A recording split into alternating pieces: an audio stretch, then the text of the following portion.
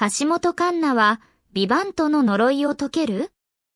主演作、匿名、薄口懸念を吹き飛ばす朝ドラヒロイン紅白歌合戦司会、国民的女優の底力。橋本環奈24主演の月10ドラマ、匿名。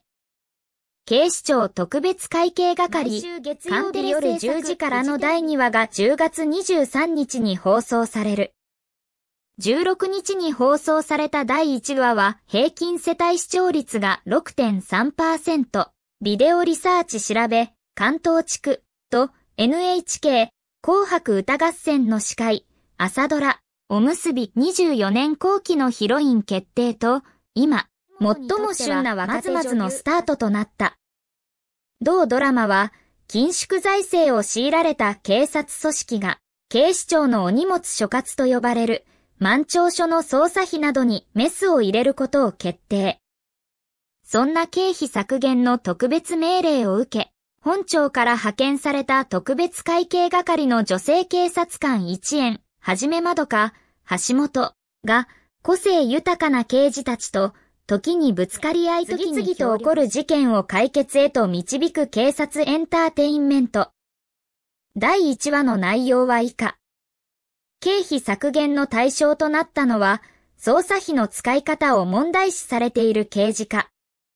園は刑務課の上司、菅安吾、佐藤二郎54が用意していた捜査雑費の20%カットを命じるが、湯川哲郎、沢村一輝、56はこれに猛反発。器物破損による補修費、いかがわしい情報屋との交流費など、多額の出費を生み出す張本人だった。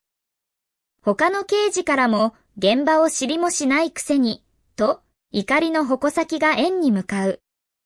その時、館内で変死体が発見されたと通報が。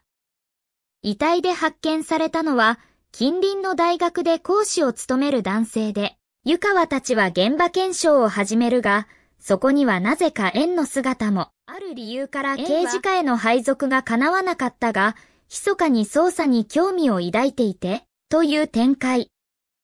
視聴者の X、ツイッター上の反響は、橋本環奈と沢村一樹のコンビ。意外とバランスが良くて良い感じ。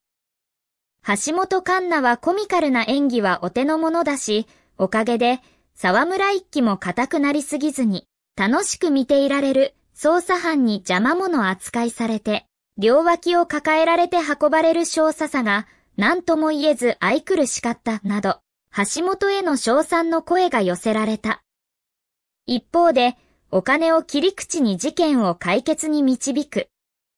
テーマとしては面白いけど、なんだか展開が薄いし、コメディ通り越してカオスだったな。一円の裏の顔は縦軸になりそうで楽しみなんだけど、個々の事件のエピソードが薄い。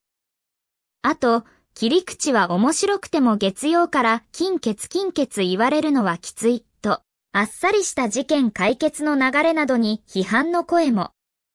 確かに薄いところはありましたが、前期の大ヒット作、ビバント、TBS 系があまりに出来が良すぎたことの影響で、ドラマファンが辛口になっているという事情はあるでしょう。匿名は十分な良作ですが、ビバント、のような豪華キャストと凝った展開のドラマを見た後では、物足りなく感じるのも仕方ないです。テレビ誌ライター。